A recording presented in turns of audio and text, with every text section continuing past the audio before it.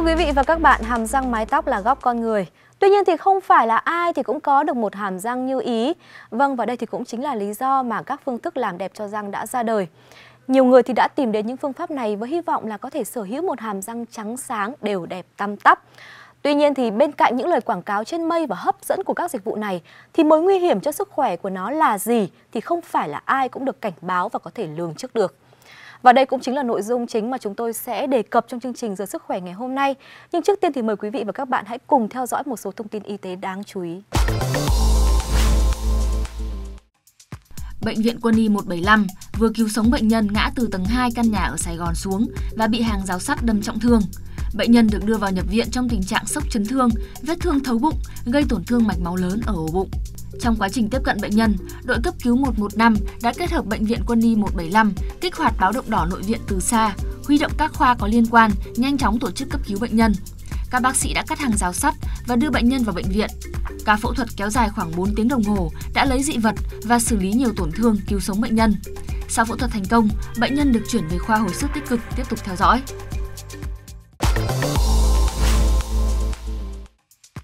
Bệnh viện Đa khoa huyện Thạch Thất, Hà Nội vừa cứu sống mẹ con sản phụ bị sa dây rau. Cụ thể, sản phụ 35 tuổi, mang thai lần 3, thai 38 tuần được người nhà đưa đến cấp cứu tại khoa sản bệnh viện.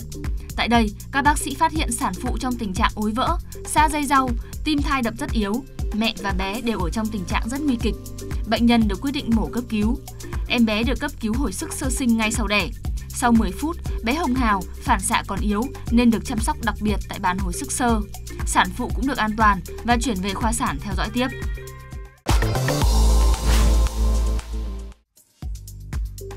Các bác sĩ của Bệnh viện Đa khoa Trung ương Cần Thơ vừa cứu sống một bệnh nhân bị đạn bi găm vào cột sống cổ, gây tổn thương động mạch đốt sống cổ và rễ thần kinh C5 bên trái. Bệnh nhân được chỉ định phẫu thuật cấp cứu để lấy dị vật và xử trí tổn thương.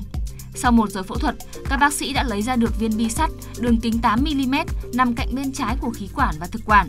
Hiện, sau phẫu thuật, bệnh nhân tỉnh táo, không chóng mặt, không còn cảm giác đau và tê vùng cổ lan xuống vai trái như trước phẫu thuật. Vâng thưa quý vị và các bạn như chúng tôi đã nhắc đến từ đầu chương trình thì với sự nở rộ của các phòng khám nha khoa thẩm mỹ hiện nay cùng với những lời quảng cáo cho các dịch vụ làm đẹp về răng đầy hấp dẫn thì rất nhiều người đã tìm đến dịch vụ này. Tuy nhiên thì không phải là ai thì cũng có được một hàm răng đẹp và an toàn sau khi ra khỏi đây. Thậm chí là nếu như làm ở những cơ sở không đảm bảo thì còn gây ra những hậu quả nghiêm trọng.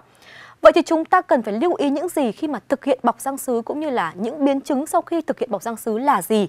Thì tất cả thông tin này sẽ được giờ sức khỏe trong chương trình ngày hôm nay giải đáp giúp quý vị và các bạn qua sự chia sẻ của Phó Giáo sư Tiến sĩ Võ Trương Như Ngọc là Phó Viện trưởng Viện Đào tạo răng hàm mặt thuộc Trường Đại học Y Hà Nội. Vâng và ngay bây giờ chúng ta sẽ cùng gặp gỡ với Phó Giáo sư Tiến sĩ Võ Trương Như Ngọc để có thể có những thông tin hữu ích nhất về nội dung mà chúng ta đã trao đổi từ đầu chương trình đến giờ, đó chính là liên quan đến răng thẩm mỹ. Vâng, xin cảm ơn Phó Giáo sư Tiến sĩ đã tham gia chương trình ạ. Vâng, xin ờ, kính chào tất cả quý vị khán giả truyền hình ạ. Vâng thưa bác sĩ, à, hiện nay thì vì rất nhiều những yếu tố và đặc biệt là yếu tố thẩm mỹ nên là nhiều người đã lựa chọn việc à, sử dụng là bọc răng sứ với việc là phải mài nhỏ những chiếc răng thật của mình. Vậy thì bác sĩ có quan niệm như thế nào về việc sử dụng răng sứ này ạ?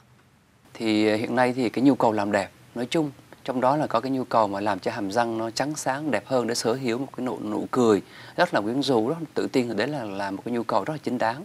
Tuy nhiên ta biết thì cái gì cũng có mặt trái của nó.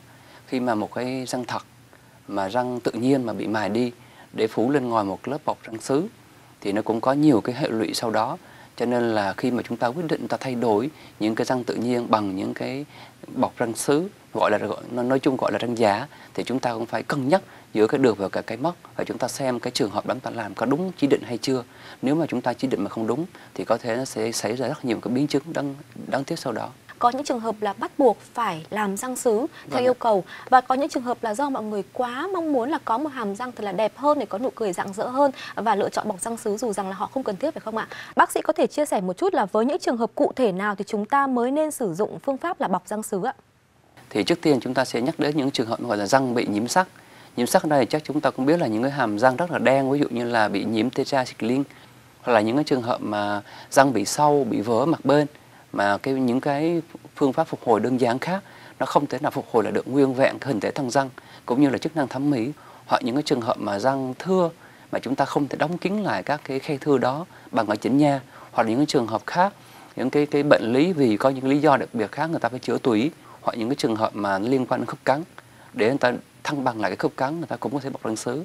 Và một cái cái chỉ định mà hiện nay mà có lẽ rất nhiều người quan tâm đến và đôi khi lạm dụng chính là cái nhu cầu làm đẹp. Thì thật ra là có một số là khách hàng là cái bộ răng hoàn toàn bình thường cái màu sắc thì cũng có thể chấp nhận được. Nhưng mà vì có những cái lý do thẩm mỹ họ có nhu cầu thẩm mỹ đẹp hơn cho nên người ta yêu cầu bọc, bọc răng sứ vậy thì cái tỷ lệ gặp phải biến chứng của những cái loại răng như thế nào sẽ là gặp nhiều nhất ạ? Đó là những trường hợp mà một là bệnh nhân bị vẩu thứ hai là những trường hợp mà răng người ta bị chen trúc nghĩa là gọi là 9630 cái ra cái vào đó. Thì trước khi mà làm cái những cái mặt răng sứ là chúng ta phải mất cái thời gian tầm khoảng hơn một năm đến 2 năm chúng ta chỉnh răng trước cho nó điều đặn rồi chúng ta mới làm răng sứ. Nhưng mà vì có thể khách hàng người ta vội quá, người ta muốn có được cái bộ răng trắng ngay, cho nên là người ta làm ngay là làm răng sứ ngay và sau đó thì nó rất dễ xảy ra tình trạng viêm lợi à, viêm quanh răng, xong rồi tiêu xương và những cái biến chứng khác như là viêm túy và túi hợi tử. Còn có một số trường hợp khác nữa là vì cái nhu cầu thẩm mỹ cao quá là một cái bộ răng là có thể, cái màu sắc răng có thể như là bình thường nhưng mà vì người ta muốn theo trào lưu là có cái bộ răng rất là trắng rất là sáng thì khi mà cái răng sứ nó trắng quá khi mà lắp lên trên miệng ấy, nó không hợp với cái màu màu da thì nhìn rất là lộ. Nghĩa là người ngoài nhìn biết ngay là răng giả. Thì những cái trường hợp đó thì với chuyên ngành chúng tôi thì cũng cho rằng đó là những trường hợp thất bại. Vậy thì cái tuổi thọ của răng sứ sẽ là cụ thể là khoảng bao nhiêu năm ạ? Thì với một cái chụp răng đơn lẻ thì cái tuổi thọ của nó có thể là trung bình là 5 năm 10 năm thậm chí hơn nữa nhưng mà trên mỗi một cái cá nhân cụ thể thì mình rất là khó nói. Ờ, thông thường những cái cái bọc răng ấy thì nó ít khi nó bị vỡ bị hỏng lắm ạ. Nhưng mà nếu chúng ta làm không đúng thì cái răng đó bị hỏng cái răng thật bị hỏng hoặc là cái tổ chức nha chu nó bị hỏng thì chính vì cái răng thật bị hỏng cái tổ chức nha chu bị hỏng thì chúng ta phải làm lại cái cái răng giả. Nếu còn thông thường mà nói thì răng giả ít khi nó bị hỏng trước khi răng thật bị bị hỏng. Vâng, vậy thì những người mà đã bọc răng sứ rồi thì bác sĩ có thể chia sẻ một chút là họ cần phải lưu ý những điều gì để có thể bảo tồn được bộ răng sứ của mình một cách tốt nhất và à, hoàn hảo nhất cũng như là cái thời gian uh, tuổi thọ của bộ răng sẽ được cao nhất ạ? Nên nghe lời các bác sĩ chuyên khoa tư vấn đúng chỉ định. Đó là chỉ có nên làm mặt răng sứ trên một cái bộ răng đều đặn. Có nghĩa là nếu như mà răng hơi vẩu thì chúng ta phải chỉnh vẩu trước. Nếu mà răng không đều đặn chúng ta phải chỉnh nha làm điều trước và sau khi mà chúng ta có cái bộ răng sứ rồi, thì chúng ta cũng phải biết cách là giữ gìn. Có nghĩa là gì ạ? Thì răng sứ nó cũng là răng giả. Thật ra răng giả thì cũng, răng thật ấy, thì còn có, cũng có thể bị vỡ. Thì răng sứ nó cũng có thể bị vỡ. Cho nên là chúng ta cũng sẽ nghe lời bác sĩ tư vấn cả những cái chế độ ăn cũng như là vệ sinh nó phù hợp.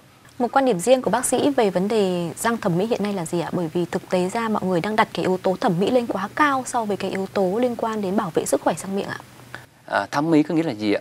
Khi mà mình làm một bộ răng thẩm mỹ cho khách hàng hay có thể gọi là bệnh nhân thì chúng ta phải tái lập lại một bộ răng nó đầy đủ hai cái yếu tố cơ bản. Thứ nhất là đáp ứng được cái nhu cầu thẩm mỹ cho người bệnh theo cái ý nguyện của họ.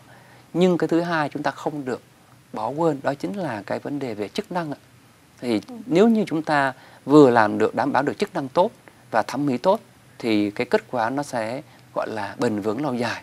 Dạ vâng ạ, như vậy là chúng ta phải luôn lưu ý đến sức khỏe của răng miệng của bản thân mình. À, bên cạnh đấy thì chúng ta cũng có thể lựa chọn những yếu tố thẩm mỹ để làm đẹp cho à, nụ cười của mình. Tuy nhiên thì cũng phải luôn luôn lưu ý là nghe theo lời của bác sĩ căn dặn để chăm sóc à, cho hàm răng sứ sau khi đã thực hiện phải không ạ? Vâng, vâng cảm ơn bác sĩ rất nhiều về những chia sẻ bổ ích vừa rồi ạ.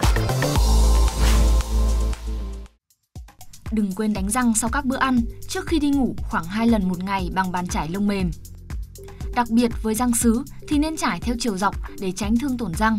Mão sứ bị mai mòn nặng làm giảm đi sự bền đẹp của hàm răng. Thay bàn trải 3 tháng một lần để loại bỏ các loại vi khuẩn có khả năng bám trụ, cư trú trên dụng cụ vệ sinh răng miệng mỗi ngày. Vệ sinh sạch sẽ các kẽ hở có dính thức ăn trong răng bằng tăm, chỉ nha khoa, nước xúc miệng mà không làm tổn thương đến nếu. Đi khám và lấy cao răng định kỳ 6 tháng một lần để có phương pháp điều trị phù hợp khi có vấn đề xảy ra có một chế độ ăn uống hợp lý để tránh làm răng vỡ, không nên ăn những thức ăn cứng, dai và khó nhai hoặc quá nóng, quá lạnh. Nên ăn đồ ăn mềm, ăn nhiều rau củ quả để có nhiều vitamin, rất tốt cho sức khỏe răng miệng. Đặc biệt, các loại hoa quả chứa axit malic, táo, dâu tây giúp làm sạch răng cực tốt. Hạn chế hút thuốc và ăn những thực phẩm có màu để tránh làm răng xỉn màu, ố vàng. Vâng thưa quý vị và các bạn, rõ ràng là không gì là không có nhược điểm. Mong muốn có một hàm răng trắng đẹp thì luôn là một nhu cầu chính đáng của mỗi con người phải không ạ? Tuy nhiên thì chúng ta cũng nên sáng suốt và có thể tỉnh táo hơn khi mà lựa chọn những phương pháp để có thể làm đẹp cho hàm răng của mình. Bởi nếu không cẩn thận thì rất có thể là chúng ta sẽ phải đối mặt với những hệ lụy khôn lường không hề đáng có. Và hy vọng là với những chia sẻ của chuyên gia trong chương trình ngày hôm nay thì sẽ phần nào giúp quý vị và các bạn có những lựa chọn sáng suốt khi mà quyết định làm răng thẩm mỹ. Còn bây giờ, xin chào tạm biệt và hẹn gặp lại.